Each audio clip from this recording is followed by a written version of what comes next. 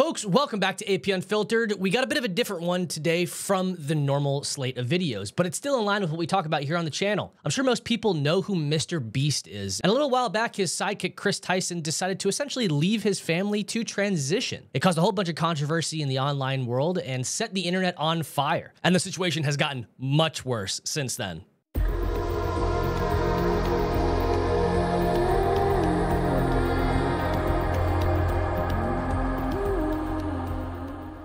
Folks, before you start the show, hit the like button on the video, the follow button on the channel, the sub button if you're over on YouTube, and share the show with a friend. Take the URL, post your social medias, hit the join button down below, either in the description of the video or below or on the main page for $5 a month to help support alternative media. But let's get into it. From the direct, Ava Kris Tyson, new controversy and allegations explained. YouTube star Ava Kris Tyson is at the center of an online controversy following allegations being leveled at the internet personality. Tyson is a well known associate and good friend of Jimmy Mr. Beast Donaldson, appearing in various prank and challenge videos on the Donaldson's channel for his record breaking 305 million subscribers.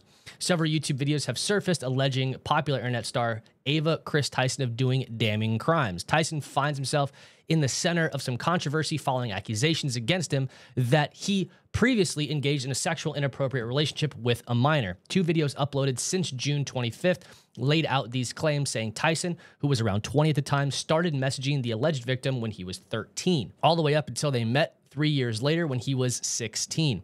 The accuser claims that evidence of the relationship includes screen grabs of one on one Discord calls between the two, as well as the victim renting a camper van and allegedly meeting up with Tyson in a secluded rural location. And for some added context, real quick, check out this video from Parlo. I'll link the video down in the description of the video. Now, for those of you who don't know, longtime friend of Mr. Beast, Kris Tyson, has recently been called out for numerous disgusting actions. One such video made by Atrox has gone viral, detailing Kris's really gross and disgusting infatuation with loli content, which for those of you who don't know, loli content is basically sexualized art based off of young children. And another video made by Prism, which hasn't been picked up by many people yet, details Kris Tyson's very weird and unsettling interactions with a child who was 7 years younger than her when she was in her 20s. Now, to summarize Kris Tyson's infatuation with loli content, I have to first preface the fact that any grown adult that shows interest in art depicting this of children is a complete weirdo. So that's not a great look whatsoever. And in the sense of being as clear as possible, if you are engaging with things like this, with minors as well,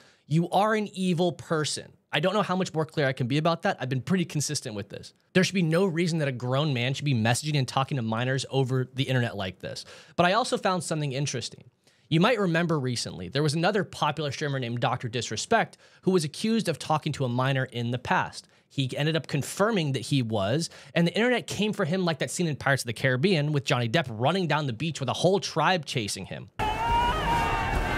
But the internet's having a little bit of a different reaction when it comes to this case. And one could only assume that the difference here, because you always have to look at what the differences are, you compare and contrast the situations. The only difference here is that one is a straight white male and the other is a transgender woman. Now, I'm not the guy who's going to sit here and be like, straight white men are being persecuted. I'm just calling it out as I see it. And that's the big glaring difference here. For the record, I don't care what you are gay, straight, trans, whatever. I don't care. Leave the kids alone. That's been pretty clear. I've been pretty clear with that since the very beginning. Now, once again, you are evil if you are engaging in actions like this. Take a look at the side by side of how two very popular content creators online, Pokimane and Valkyrae, reacted to the situations of Dr. Disrespect and Kris Tyson. With regard to Kris Tyson, Pokimane says, I don't know all the details regarding the Ava situation using the trans name. But I want to make it clear any inappropriate behavior towards minors is unacceptable regardless of who you are. Okay, great. I like that statement. That's a good statement. But the problem is, she goes on and says this It's a shame that people will see this as an opportunity to attack the trans community as a whole. One person's actions does not reflect on every single trans person, so please don't view it that way.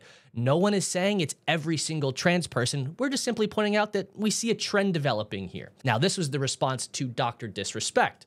One word yuck. And to be fair, most people had a little bit more to say than just that. Now, when it comes to Valkyrae, her tweet says, I'm still in the process of moving, so I haven't been able to fully keep up. But in the meantime, since I've been tagged a bunch, a word we can't say on YouTube, but stands for minor attracted person, equals bad, while trans does not equal minor attracted person. But you can see the words that they're actually saying. The actions of one trans person does not mean all. Suck to see so many anti trans people act as if it does. I'm hoping Ava speaks up. Dr. D, for Dr. Disrespect, is still gross. And I agree with that. I did make a video a while back about Dr. Disrespect before he actually copped to it. So I should probably do an update video to that. Lastly, to the incels that only tagged Poki to quote, speak speak up, even though everybody did after D did himself. You're weird. Focus your hate towards the, once again, word I can't say, for once. And like I said, I'm just looking at the trend here. I'm just calling it for what it is. It seems like more and more we're having instances where people who tend to identify in the LGBT, specifically the T uh, realm, are engaging in an action that rhymes with the words booming, looming, and assuming. Okay? And End Wokeness responded with this tweet Kris Tyson literally abandoned his family to a fetish. Are we shocked at the allegations? Not in the slightest. Mr. Beast has some explaining to do. Now, to be fair to Jimmy Donaldson, aka Mr. Beast, I don't know all the details surrounding what he did know and what he didn't know, but the fact remains that a lot of his audience does tend to skew towards a younger demographic. In fact, my nephews watch his content, and a lot of people and parents rightfully pointed out that when Kris Tyson decided to transition, it could potentially make a lot of parents wary that the content is no longer suitable for their children due to raising a lot of questions and can potentially confusing the children. And that's a fair argument because not everybody subscribes to the pillars of gender ideology as a good thing. And guess what? That's okay. Even though the left will scream from the mountaintop that it's not okay for that to be the case and it's bigotry and just unbridled hatred. It's not. It's just a difference in values and a difference of opinion. One's based in fact, one is based in fantasy. It's just realizing that there's a binary of gender and people can cosplay all that they want, but it does not make it a fact. But here's another example of left wing creators deflecting off of the story because they have no moral backbone and their positions tend to be incongruent with one another. Take a look. Has Hasan talked about Mr. Beast Kris? Oh no, don't ban me. Just a question. I'm not going to ban you. I do want you to really think about it though.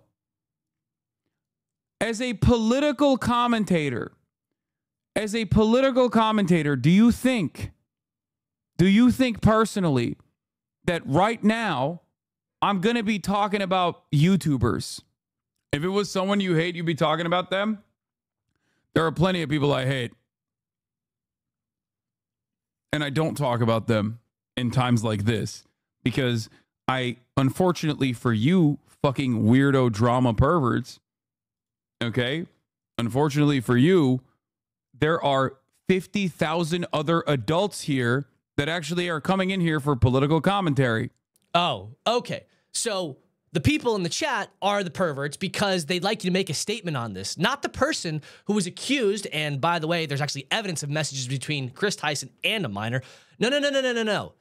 The perverts are the are the chat for asking for a comment from a left-wing commentator who has a history of defending the trans community in the face of controversy.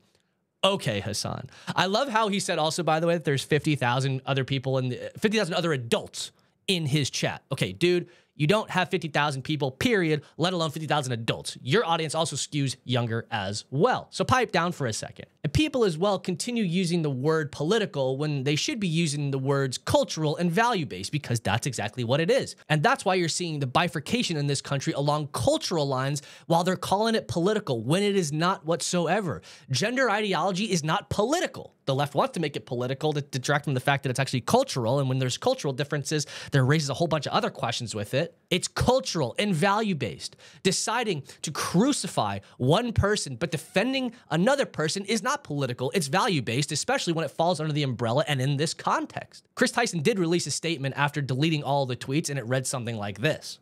I would like to apologize for any of my past behavior or comments if it hurt or offended anyone. It was not my intent. Seeing recent events, we've mutually decided it's best I permanently step away from all things Mr. Beast and social media to focus on my family and mental health. Oh, now you want to focus on your family and your mental health. I don't buy that for one second, and I don't think a lot of people will accept that either. I'm curious what everybody's thoughts are. Drop a comment down below with what you believe is the case and what side you tend to lean on based on the available evidence we have as of now. Because remember, these stories are always developing.